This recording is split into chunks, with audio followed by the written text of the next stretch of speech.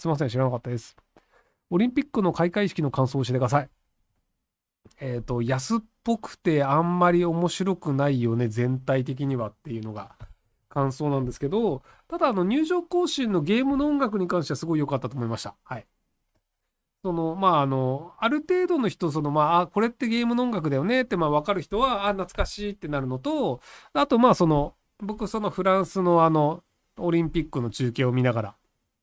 その、えっと、アベマプライムの番組出演してるみたいな状態だったんですけど、で、その、最初にこう、ドラクエが流れて、で、その後、ファイナルファンタジーが流れた時に、その、あの、フランス語の解説者の人が、そのドラゴンクエストという曲、あのそのまあゲームは知らないと思うんですけど、そのドラゴンクエストっていうゲームと、ファイナルファンタジーっていうゲームから来てる曲ですよ、みたいなことを解説してて、まあ一般的にはわからんだろうなと。で、ただそのまあ、えファイナルファンタジーとか、その、あの、ドラゴンクエストであればまだ一般の日本人はわかると思うんですけど、そのクロノトリガーとか、あの、ニーヤとか、すげえマニアックな曲入れてるんですよね。あの、まあ、クロノトリガーだったらまだ鳥山明さんが絵描いてるのと、あとまあちょっとドラクエのスタッフ、あれ坂口さんが作ったんだっけ？が作ってるので、まあ一応知名度のあるゲームなんですけど、ニーヤってかなりマニアックなんですよね。あの、そのストーリーがすげえダークで僕は面白いから好きなんですけど、一般的にはその、ニーヤの話をして分かる人ってほぼいないので、なんかマニアックすぎて面白いなと思いました。あとグラディウスを入れたあたりとかもなかなかマニアックだと思ったんですけどした。なのでそういう意味では、あのゲームの、要はその、あの、なんか他の国の文化って、まあ全然知らない文化に触れると、あ、外国だよねって感じるので、なのでその外国の人にとってみると、そのゲーム音楽っていうだけで、あ、なんか変わった文化だからこれ日本の文化なのね、みたいな感じで親近感湧くので、あれはいいんじゃないかなと思いました。うん。ただそのなんかね、ゲームしか誇れるものがないのかとか、その開会式の、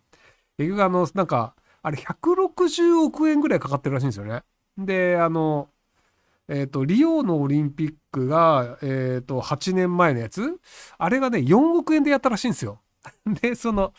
あの、まあ、リオとかロンドンと比べて、その日本のオリンピック開会式つまらんよねっていうのが、あの、イギリスのデイリーメールっていうとこだったり、FOX ニュースとかで言われてたりっていうので、まあ、割とその、海外の人たちは、ま、正直につまらんと言ってると。で、まあ、僕もあの、安っぽいなとは思ったんですよね。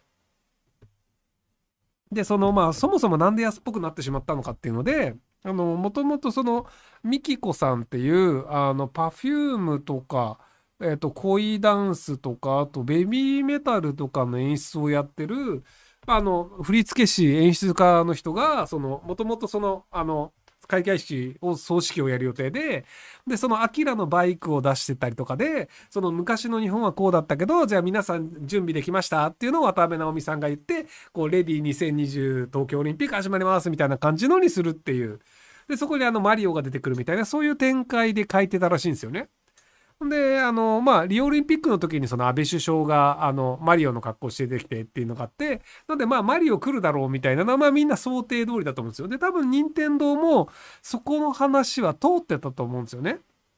で、ところがどっこい、その、どうやら開会式、まあ、割とその、あの、なんか東京オリンピックっていうので、いろんなスポンサーがついて、まあ、なんか、あの、電通がいろんなことをやりたくなったらしいんですよ。要は開会式の中にいろんなものを押し込みたいと。で、その最初じゃあミキコさんはトップだから、ミキコさんのサポートとして、電通の佐々木さんっていう人を言えるのはどうですかっていうのは、その電通のスポーツ局の高橋さんという人が言ってきたわけですよ。まあ電通のナンバー3って言われてるらしいんですけど、で、まあミキコさん的には、ああ、全然サポートの人佐々木さん入るんでいいんじゃないですかって言ったら、なんかその、その佐々木さんという人がコロナ対策委員かなんかになって、で、コロナ対策委員として、あの、開会式はちょっとその自分がある程度方向性を決めたいみたいなことを言い出して、そのミキコさんがいない場所で勝手に話を作り始めたんですよ。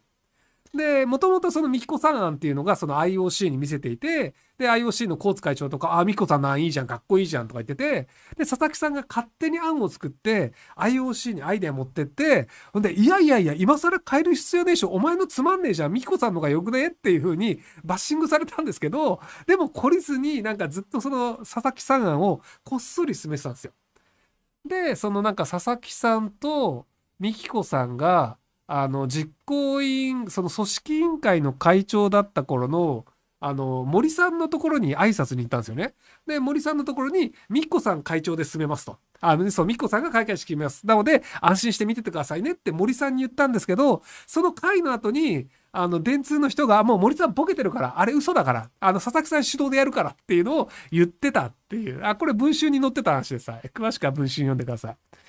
っていうのがあって、で、結局その美彦さんが、まあ、あの、自分がその開会式の、その主催をするはずなのに、いつの間にか他の人が勝手に決めていて、で、自分の案を勝手にパクったやつを外に出してて、しかもその骨抜きになってるんですよ。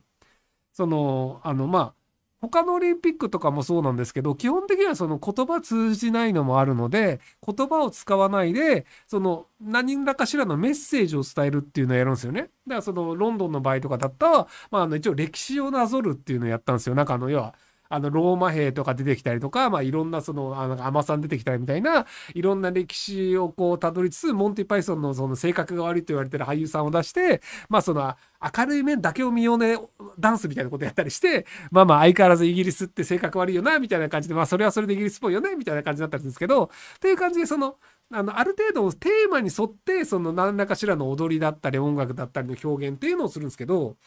で、ミコさんの場合は、その、昔の過去の東京オリンピック、60年代の東京オリンピックから、2020年、未来、まあまあ今現実ですけど、に、その、バトンタッチされるって、そういうテーマだったらしいんですけど、まあ現状、今の開会式、ご覧になった皆さんに、その、あの開会式のテーマは何だと思いますかって聞いたときに、あの、みんなが何も言えないと思うんですよ。なんか、うん、ダンスやってたね。うん、タップダンスやってたね、みたいな。で、なんかあの、アイヌの踊りをやってたよね、みたいな感じで、その、一個一個がこういうことしてたよねっていう、見たものを説明できるんですけど、それがどういうテーマで、どういうコンセプトで、見た人に何を伝えたい方っていうのが全くないんですよ。で、なんでそうなったかっていうと、なんかその、小池百合子さんが、なんか東京の消防士のなんか消防団みたいな人を使えって言ったので、なんかあの畳みたいなとこ置いてなんか消防団的なとこ人がなんか踊ってなんかあのこうなんかこう紐で引っ張って五輪の輪を動かすみたいなのやったりとか